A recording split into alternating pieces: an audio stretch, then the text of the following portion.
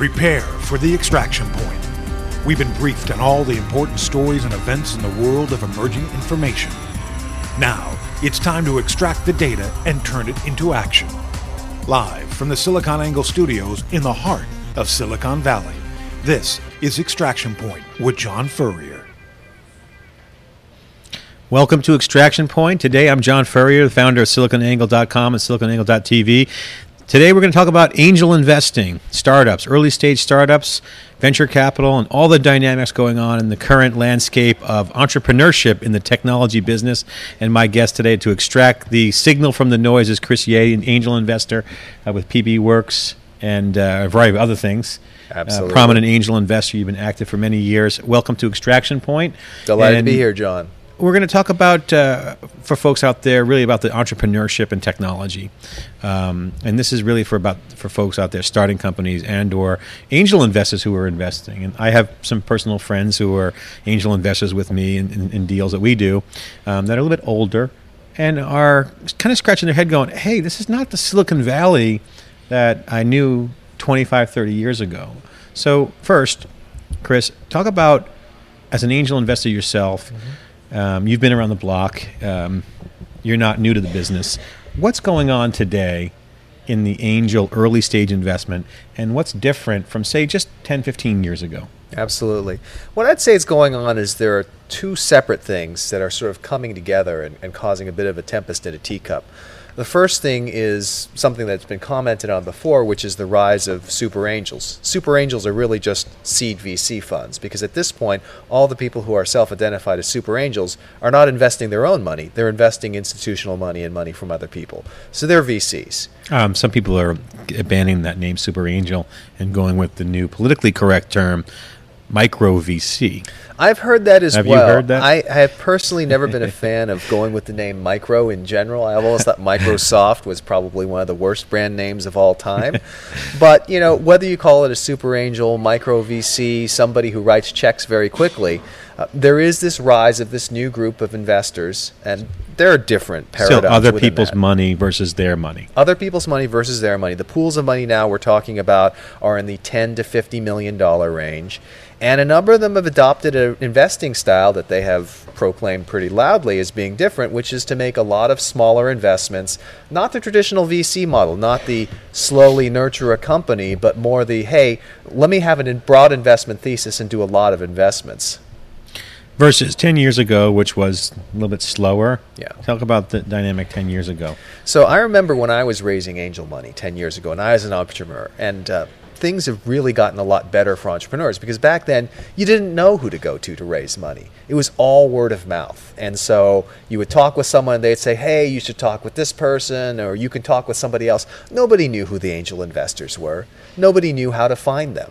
And so it was all word of mouth, and as a result, the deals were relatively inefficient in the sense that as an entrepreneur, you weren't in a real market. You weren't getting the best price. You weren't seeing all your options. Nowadays, thanks to things like AngelList and thanks to the fact there's a lot more publicity about the space, entrepreneurs are a lot savvier about fundraising than I was. So there's two things that that kind of were going on back then. Were not a lot of access to the angels, so there was a standard gatekeepers you'd have to go to Right. to kind of go through the, the door, if you will, the gatekeeper, um, and also slower. But today it's faster with AngelList and other things. Uh, but still, there's kind of a gatekeeper mentality. I mean, wouldn't you say that the AngelList really is a gatekeeper? Because if you want to get uh, investment, you got to go through a, a handful of individuals Right. who are syndicating or colluding on Angel As the List. case may be. Well, the So way Naval and Nivi and folks might come back, and I'm open to have a conversation about this. But to me, there's still um, there is still a gatekeeper mentality controlled by the send button of AngelList. well, Is that true, or am I off base on that? I th- uh, well, you know what AngelList would say is that anybody can create a profile in AngelList, but obviously the frenzy really occurs when Naval, Nivi, and other influential people actually push a deal and send it out. But that's always been the case, right? Influential investors have always had the power to push deals and make them more prominent. what I think is also true and, and is frustrating to entrepreneurs is you hear people all the time say things like, oh, it's so easy to raise money. Oh my God, it's easier to raise money than ever. Well, let me tell you, for most entrepreneurs, it's not easy. It's not easy to get someone to give you money.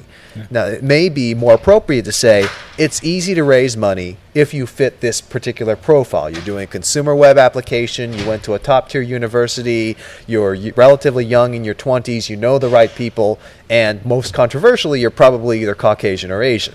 Yeah, I wrote a tweet about uh, Dave McClure wrote a really good post, kind of commenting on the AngelList, and uh, I actually thought it was a great post. And I kind of commented, Dave, you're right on one of the three points, and he said, uh, point one, AngelList is freaking awesome and revolutionary felt that was I, I, don't think that's correct. I think it's awesome. I don't think it's revolutionary.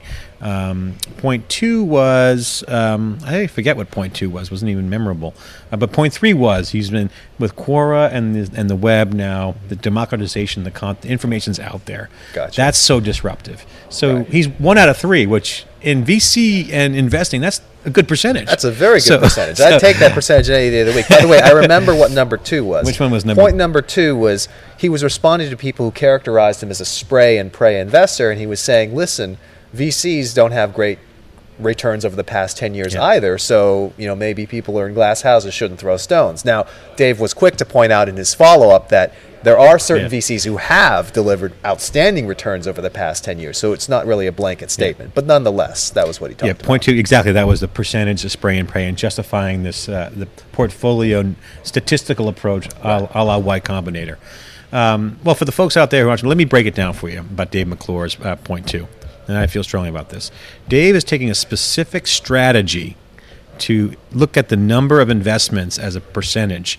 So he's very clear in his post I want to lay out a percentage and lay out the dollars, and one will hit. It's absolute game theory based, statistically based theory of, of angel investing or micro VC or VC investing. So I have no problem with that at all. That's strictly a strategy. What does it mean for an entrepreneur? I'll tell you what it means. Ultimately, he will not follow on and care about most of them okay, that they will fall off the table. He'll argue with me and say, no, that's not the case, because you really can't be one of two things in the angel world. And this mm. isn't for VCs, I mean, for entrepreneurs. And we can debate this if you want. Right. You either are building companies or you're managing a statistical number. So I think what Dave's confused on, or not confused on, or people are confused on, is that he's statistically putting the numbers out there. And like a Ron Con- wait, like a Y Combinator. There's nothing wrong with that. That's right. more of a hedge fund like approach to managing the investments. Yeah. And Versus, again, hey, I'm going to put money into a company and work with the team, build a durable business. Yeah. Building and, companies. And I don't want to spend the whole time talking about Dave because we should probably just get him in and talk here. But, yeah. uh, you know, it's definitely the case. I think what Dave is trying to do is he's trying to have his cake and eat it too. And if he can manage that, more power to him. Because what he's done is he said, I'm going to assemble this team of mentors. He understands that he's not scalable enough to actually provide one-on-one help to the various startups he works with. And so he's tried to build a community. It's almost like crowdsourced mentoring with various people coming in. Um, but in the end, you know, it, it's difficult. I've taken a different path. I make a relatively small number of investments. I work closely. You get involved with the companies, right? I get involved, and and part of it is because that's just what I enjoy. I consider my angel investing relatively non-economic. I spend more time on it than could be justified. Well, in terms of the, like the, the returns, you're talking about more about the strategy. Of course, you care about money, making money, right? Oh, I yeah, care yeah. about making money, but even so, you know, you could argue my angel investing strategy is is economically irrational because I spend more time with my startups than would be justified by the amount I invest. But I do it because I enjoy it. But that's categorically what angel investing is about, right? Because yeah. the VCs are, as I say, institutional investors or Absolutely. Uh, supposed to be unemotional about the dollars, and you know, it's, it's a portfolio. And that's where the difference really comes yeah. into play. I mean, when you're investing your own money, you're free to make these choices. Yeah. If I took $100 million from limited partners, I would have a fiduciary responsibility to them to maximize the return. Now, the interesting thing about AngelList, you know, it isn't revolutionary necessarily, but where it really makes a big change is the fact that it enables a whole different class of angel investors to get into the fray. So, angel investing, you know, it takes two things it takes time and it takes money historically, money was the limiting factor. People were like, oh, you have to have a lot of money to become an angel investor. Well, thanks to the boom and uh, companies yeah. like Google, there are a lot of people hanging around with money these days. Yeah, $50,000, $100,000 is like lunch money for some of the folks out there who exactly. made some cash out there. Now, they may not have the time, and that's where AngelList comes in. But entrepreneurs are confused, though. I mean, entrepreneurs. This is what I'm finding that Yeah. entrepreneurs are generally confused. They see angel lists as, oh wow, I can raise money really fast, and it's a, it's some were saying false hope Mm. out there, um, and others were saying, okay, it's not really angel investing; it's just VC investing brought down to the levels of angels. Right. So most VCs have never walked into the dynamics of VC, which you and I have been through. Right. So so let's talk about that. Absolutely. Is that true? Yes. And to what are those dynamics that the VC uh, market traditionally used to be for Series A? Right. I mean, it can be pretty brutal. Left alone, you don't make your numbers, your company's not hitting milestones, you get cut loose. I mean, Y Combinator's been seeing huge amount of churn Right. at the entrepreneurial level. Well, let, let's talk about that. Is that so good? Is that is that good? Yeah. it's neither good nor bad. Uh, what it is is a dynamic that's going to come into play because of the other forces. So the way VCs traditionally work, even though it, is a, an industry that's polite on the surface, and there's a lot of great people in VC and a lot of people I consider friends, it is a Shark Tank because you are competing for deals. And if you're going to compete for deals, you have to beat the other guy. At the end of the day, it is a zero sum game. You can't just share out the deal with everyone involved. Mm-hmm. In angel investing, that wasn't always the case because people were investing smaller amounts of money. They were you know, there wasn't a lot of competition for the deals. Nowadays, There was you ha- community involved too. Exactly. Nowadays, you see seed stage competition. You see companies who are getting funded out of Y Combinator with zero cap on their convertible note or for extremely high valuations on their equity rounds. And all of a sudden, if you're an investor, you've got to be elbowing like crazy just to get into the deals. What has that done for some of the traditional angels? Have they kind of stepped back? Are they looking to regroup up with some other people? Is there a strategy? Is you seeing anything out there? Well, I can tell you what I've done myself, which is to tell people I'm investing with less frequency than before because I do believe that fundamentally the price of a deal matters. It's just my opinion that if I can buy Berkshire Hathaway for $100,000 or I can buy Berkshire Hathaway for $50,000, I'm probably going to get a better long-term return if I buy Berkshire Hathaway for $50,000. Now, of course, the other the other side of the argument is, hey, if you buy into Google at an early stage, it Yeah. doesn't matter what price you pay, and they point to the success of Y Combinator. One thing I'll note about Y Combinator, and people don't understand and grasp the genius of Paul Graham at this sometimes, is that because of the terms of Y Combinator, Y Combinator is effectively buying into every startup at a roughly $250,000 pre-money.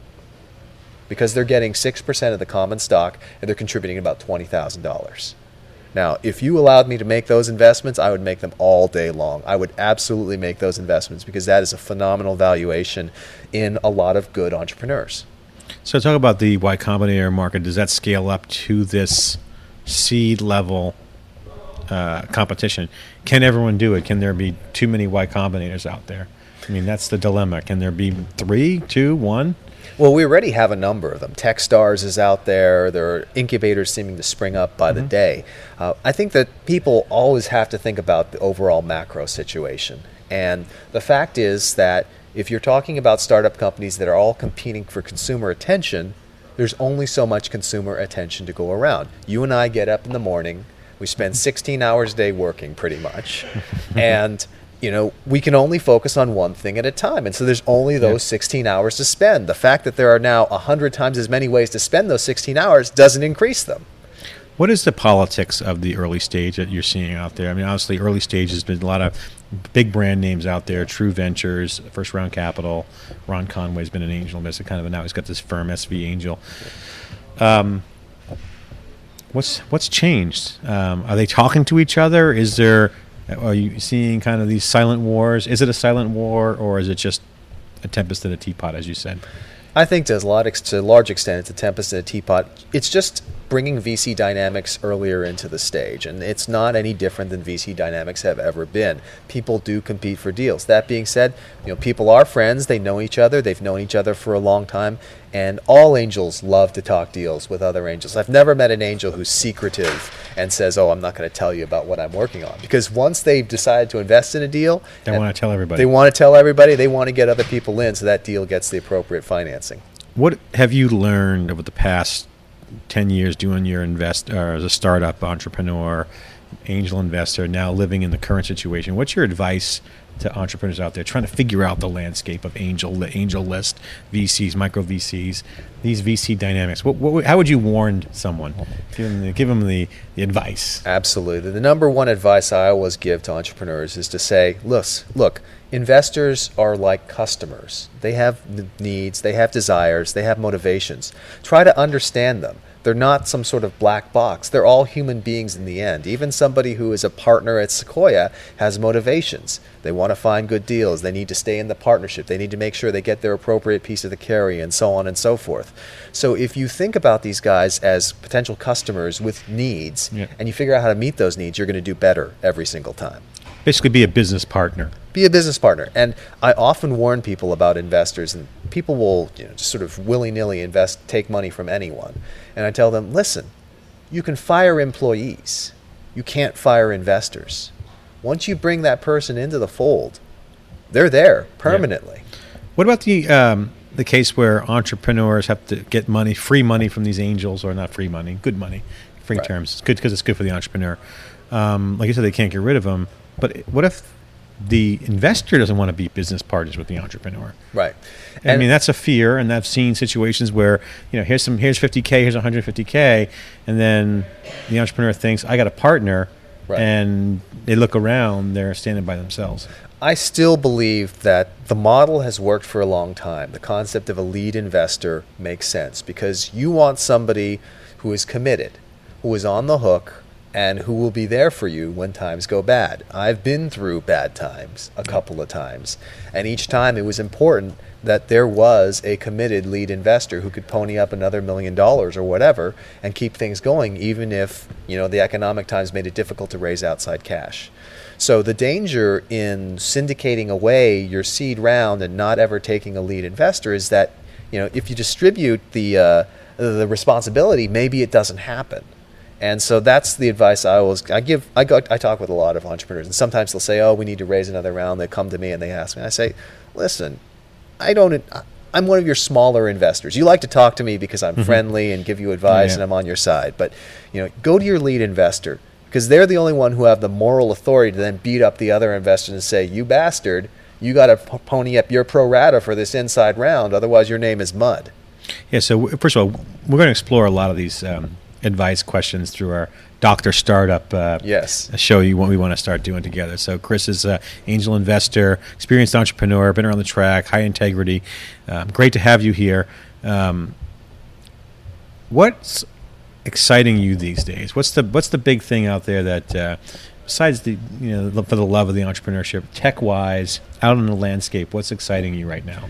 I got to tell you, something that has got me enormously excited in general is just the rise of sort of touch computing, and this is not a brand new phenomenon. It's been around for quite some time, but I look at things like the fact that I've got kids, young kids who know how to use an iPad, know how to use an iPod, know how to use an iPhone, don't know how to use a computer with a keyboard yet.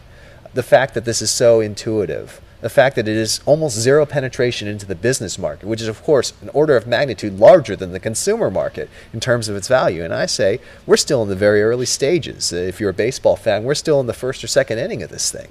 So I think there's a lot of promise. And the there. Kinect, the Microsoft Kinect, the gesture-based Absolutely. Minority Report kind of stuff going on there. That's always it's always been the case that computers have been somewhat biased. They're biased towards people who are good at a certain type of input and output. Now, it happens to be that you and I are good at that sort of input and output, so it's a good thing for us. But by taking computing and making it something that anyone can participate in and anyone can drive value out of, all of a sudden you're unlocking a lot of people that didn't really have the opportunity to get involved in technology before. It's pretty exciting. The software market's kind of coming back, and I was talking with uh, Dr. Uh, Crave at uh, Strata, mm-hmm. and he's an old school uh, genius uh, on the cube and, the, at the Strata conference. And he said, you know, we're going to look at computers more like cars, where if you think about computers today, they weren't. If they were, if, if we, if, if a car was built like a computer, we'd be cr- crashing all over the place. Right. Where instead, computers would be more like cars. You don't think about driving. You go places. You're having conversations with right. people, and it's just there. And so I think we're seeing a lot of this kind of evolution with video, um, yeah. the gesture-based computer. Um, is there any trend around mobile that you're excited about in particular? I think with mobile, the thing that's really exciting is the fact that mobile is becoming a point of content generation, not just a point of content consumption. So it's always the case that the first thing is content consumption. Just look at the, the internet itself. People would sit down with their modem and consume content from websites. I remember people were really, there was like, wow, there's a website called Suck and it's got funny articles and I'm going to go check it and read it. Or, wow, they put something up called ESPN Zone and they actually give you the games. You don't have to wait and turn on the TV and wait to get the actual score. Holy Toledo, that's amazing. Um, but the real power comes not from just consuming information as a publishing platform, but from a collaboration platform, something that allows people to work together and start putting their own stuff out there. So I think that as the mobile increasingly becomes a point of, of, of creation, that's really exciting. And right now, a lot of that creation is hey, they're tweeting or they're checking in somewhere. That's just the very beginning. Final topic here with Chris Yeh, the uh, angel investor here inside the cube on Extraction Point, is um, let's talk about um, the bubble.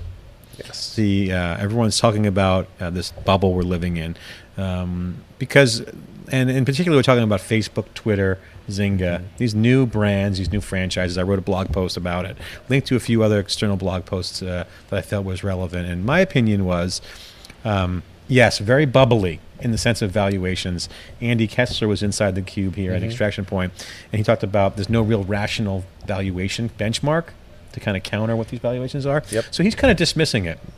So in general, there's bubbly behavior with a non-calibrated valuation mechanism, meaning no one to no market to justify the price, um, and a growing franchise base. So really, Zynga, Facebook, these companies like Twitter, I mean, these are franchises that will be around. So justifying the number makes kind of sense. The numbers are massive, but yet in the IT space and the enterprise, which we cover on SiliconANGLE, people are buying. So this, I don't see kind of drying up there. Right. What's your? Do you agree with that? Do you think you have anything to add to that? So what I would say is, you know, having been through the probably the biggest tech bubble of all time, which you and I can remember very well, back in the late '90s yeah. and the yeah. year 2000, at least the, the scar tissue to prove it, right there. Oh boy, uh, there's a lot of lot of lost money along the way. Um, the thing about this feeling right now is it's not as bad as then because back then, you know, e-commerce was a tiny fraction of where we are now. Uh, marketing was a tiny fraction of where we are now. People were going public with revenues of under a million dollars a year, and it was just literally insane. And it's not quite as insane as that. And so, in comparison to the Great Bubble, this is nothing. But that being said, the Great Bubble, well said. I am old school. I believe that you can use a discounted cash flow analysis and figure out how much a company should be worth. I won't claim that I do that all the time. As an early stage investor, that's not really what I focus on. But but at some level, you can do a back of the napkin and say, okay, discounted cash flow, future value of money, NPVs, all this stuff. The numbers go, have to work. If you say Facebook is going to be worth a huge amount of money because it influences purchasing behavior, then you have to say, well, how much purchasing behavior is it going to influence? And if the number to justify your valuation says it must influence 95% of the purchases in the United States, then the answer is, gee, maybe we are bubbly. So there always should be a way to reduce the practice because all these things in the end somebody's got to pay for it. Somebody's either got to buy something or it's got to influence what something buys. Andy kessler said you know just don't be holding the ball when the music stops. That's kind of his was his rationale. Absolutely. You know, have fun with it. It seems to be justified and they are hot. They have massive growth facebook in particular. Um, people were questioning google when they went public how massive yes. they were. But again they were printing money yeah. Um, I would say, as an entrepreneur, I mean, there's an enormous opportunity here, which is that money is not easy to get, but easier to get. There's a lot of excitement and promise. If you can raise money now and build a real business with a focus on an actual revenue model, once you have enough money to survive, once you have a business, a franchise of some kind, even if it's a smaller franchise, you're less vulnerable. You're not Twitter or Google. You don't have to be beholden to the broader economy. So you can find a way to succeed even in a down economy if you have actually built a business that people pay for money or you actually do influence purchase behavior. Let's let's, let's uh, stay on that for a second. Let's talk about the kinds of businesses that are good businesses, Mm-hmm. durable businesses, and there's different categories now. There's lifestyle businesses, which weren't very common back in the in the tech business. Mostly like old school brick and mortar. You know, start a dry cleaner, start a Right. pizza place, whatever. Uh, now there are lifestyle businesses. You know, SiliconANGLE's one of them, and you know you're involved in a few yourself. Um, you have lifestyle business that can generate cash. Mm-hmm. Then you have um, the venture business and or growing be the big big next big Right. thing like a Quora, right? An overhyped uh, platform now. What's their valuation? Have you heard? Hundred million. Uh, it the the numbers I've heard value million? from 85 all the way up to half a billion, and I heard who knows three hundred million. who knows what to believe. Um, anyway, that's outrageous. But but that being said, um, people are talking about platform wars. Obviously, Facebook. Right. You see the Facebook launches places just a few months ago, and in, in essence kills Foursquare, in my opinion. And you got people out there. You got these big gorillas like Facebook and Yeah. Google, Twitter, and Zynga, big market power. As an entrepreneur, what is the selection for market entry? Tools, platform. Do you have an opinion on that? You want to share? My opinion is very simple. It all comes down to having users or customers who love your product. That's it, it, it all boils down to that. Now, of course, you know, the, the top down analysis that says this market is better than this market, that's always important. But, you know, people ask me, what's the number one thing you look for? I would say traction. They say, well, what is traction? I say, it's people who love what you do. And especially if they're willing to part with money. Uh, because you can have you can say i'm building a location based group buying discount shopping service that has a mobile component and really ties into the facebook api and maybe it sounds good on paper but you got to show me a hundred people who just love it and use it every day before i'll believe a thing We're here at the Extraction Point inside our studio live in Palo Alto, California. I'm John Furrier. The Extraction Point uh, in the home of big data, Cloudera Inc. We share space here. Chris, thanks for coming on. Uh, final parting question we do with everyone here is uh, uh, your view five years out from now, five five years or so out. What's going to be different in our world? Just in general, tech business could be society. Any insight you want to share with folks from your perspective? Could be anything. Sure. What I would say is this uh, I did a blog post recently where I said 10 years ago, I would have to pay $20 a month for a 28.8 modem internet connection. Today, I can pay $20 a month and get a broadband connection in my pocket. The world changes a lot faster than any of us think. People look at things like Google, people look at things like Facebook and Twitter and say, my God, they're so powerful, they're going to dominate everything. Well, guess what? Microsoft was supposed to dominate the web. They didn't. IBM was supposed to dominate personal computers. They didn't. The fact is, new and amazing things are being dreamed up all the time. Don't worry about what the big guys are going to do. Build something amazing. I'm John Furrier, had the Distraction Point with Chris Yeh, talking about startups, entrepreneurships, financing, advice for entrepreneurs. That's a wrap for today.